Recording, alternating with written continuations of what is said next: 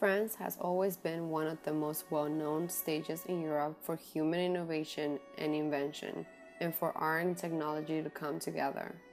In one way or another, at least from one own perspective, architecture was and has always been the marriage of the two. However, the nation went through a big transition after the war. With a burden on its shoulder, France was pressured to rebuild itself.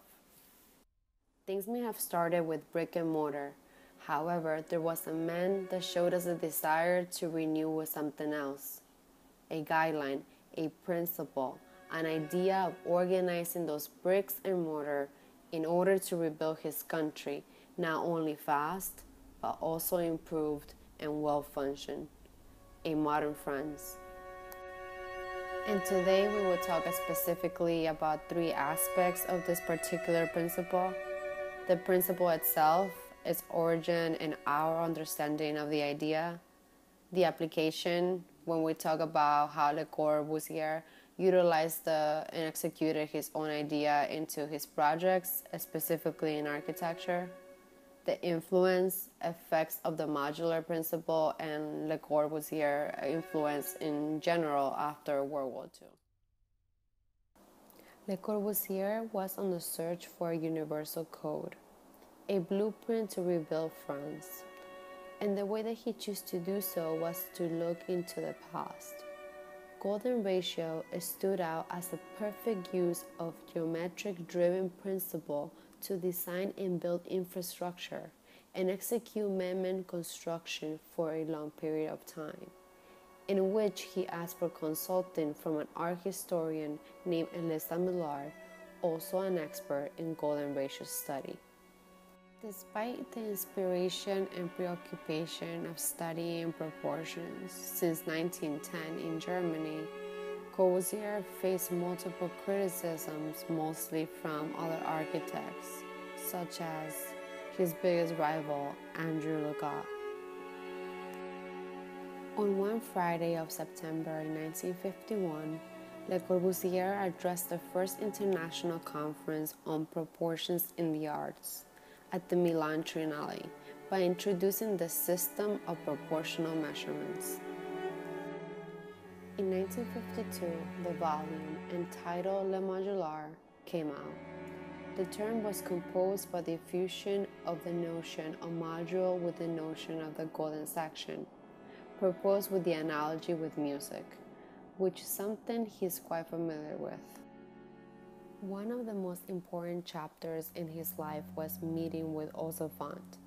Ozenfant introduced Corbusier with what he called regulating lines, or the proportional grid used in a design building.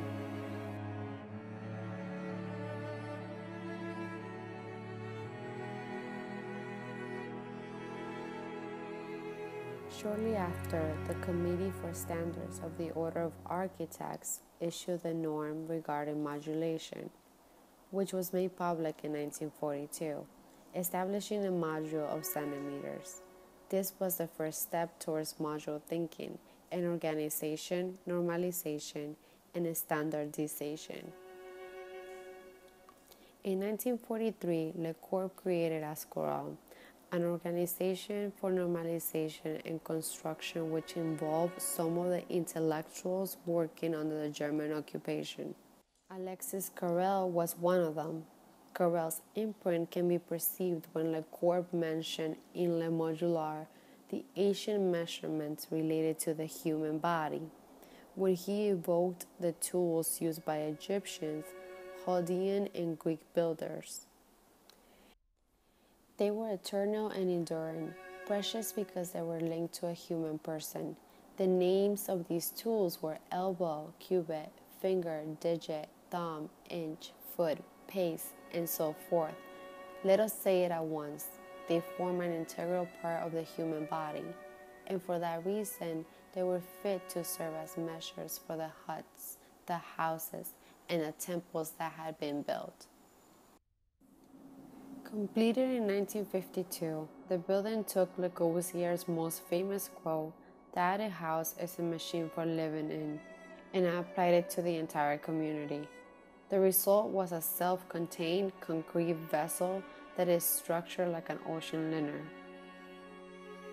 Le Corbusier believed that the tower block was the solution for rehousing the masses that had been displaced during the Second World War, and the high rise buildings could be used to create spacious city homes with the same amenities as a typical street.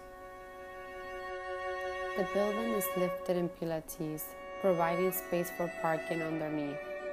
Inside, corridors run through the center of the long axis of every third floor of the building, with each apartment lying on two levels and stretching from one side of the building to the other with a balcony.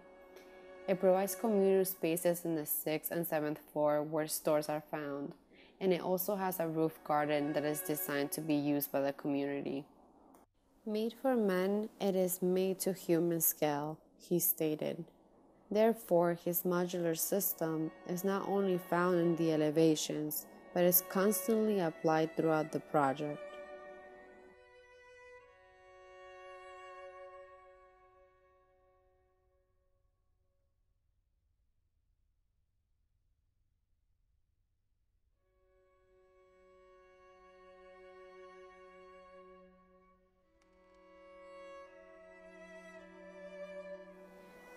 Meaningful and exciting as it was, the idea that one can get guaranteed results from this principle is very outdated, especially when dealing with the visual and aesthetic side of design today.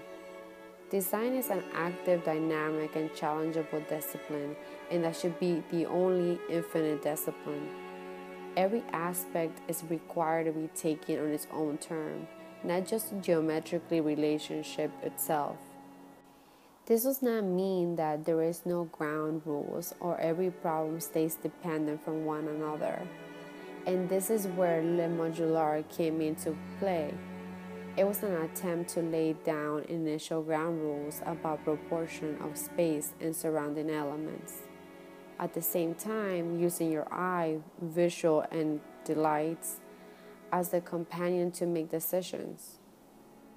It is important to notice that when one wants to use the Modulor or any proportional system is to understand that it can only ever be starting point for further design and refinement. The difficult part of the question is the relationship between a single space and a large space or adjacent space. Le Modulor was never intended to bridge this gap in proportion. The world, however, is more complex as it will always be a dense mix of uses, systems, spaces, history, and experiences.